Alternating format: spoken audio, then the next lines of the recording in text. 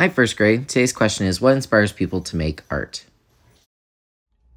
Alrighty, guys, let's go ahead and practice for our next project. Our next project is going to be clay. It's going to be next week, and I'm going to need you guys to try really, really hard. You guys need to be prepared. I'm going to go over how to make an owl with you, but let's talk about our shapes and forms, and we're also going to talk a little bit about texture.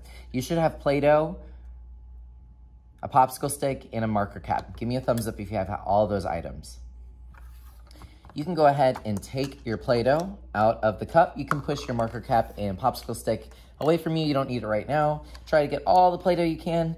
And then to get us started, let's go ahead and create a form. A form is anything 3D. So a shape is flat like a pancake.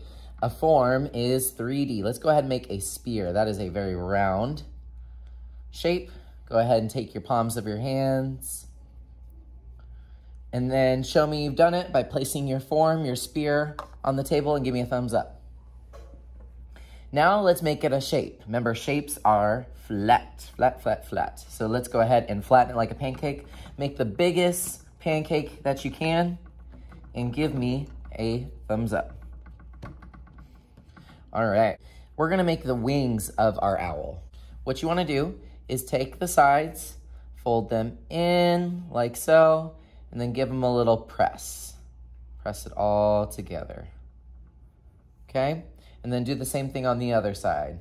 Press, push it all together until it kind of looks like a burrito that's open. Give me a thumbs up when you're ready.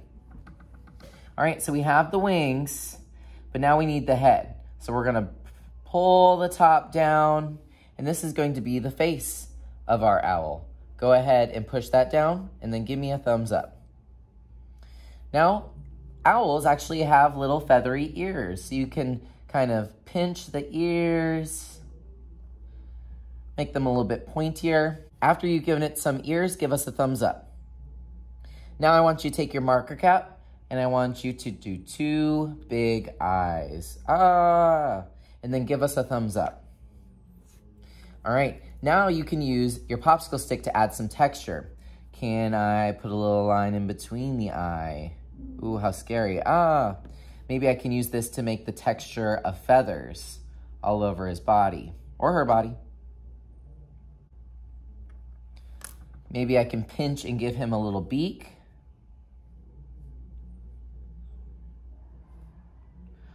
Ooh. Go ahead and make your owl and then give us a thumbs up. All right, now we're gonna practice again. So go ahead and squish your poor owl. Aw, sorry, owl back into a sphere, and then give us a thumbs up.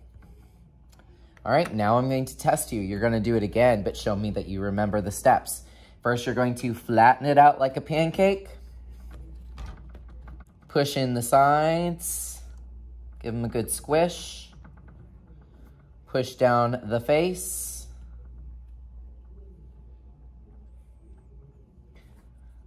Give it some eyes some pointy ears, add some texture.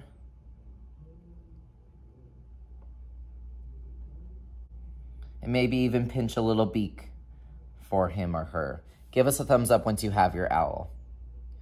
Okay, I'm going to give you three minutes to make what you want this time. Roll it out. You can make some forms. You can make a person. If you want to practice your owl for a couple more minutes, that's okay too, but go ahead and just play with your tools. You can make texture, have a little bit of fun. And then three minutes, I'll give you your next activity. Okay, listen up. So now you can choose a new activity. You could continue to use the Play-Doh, or you could put it on the back counter if you're all done. You're gonna return the marker cap and the, the popsicle stick. We're gonna need these for next week. Another option is, is you could try out the Pottery app on the iPad. On the iPads, you might notice that we have called Pottery. It's this one right here. This is what it looks like, it has a little vase on it. You can actually use it to create a piece of clay. And it actually goes through the steps of, fire, of firing real clay. So you, first you have to make your pot. You can't make an owl in this game, which is kind of a bummer, but you can make something else. You can fire it. You're gonna send it to the oven where it gets to 2000 degrees. And it really does get red hot like that.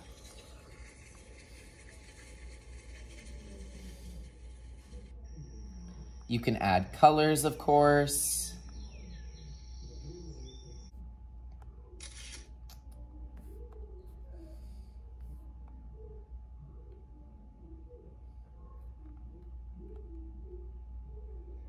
And it will tell you how much money you make.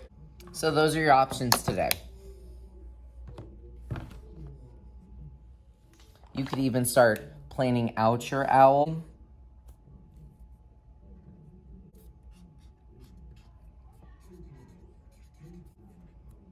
But I want to make sure that you're 100% prepared for clay next week. So do whatever you need to do to wrap your brain around this project. Because once we do it, we only got one day to do it. There's no coming back and finishing later. Yes, yes?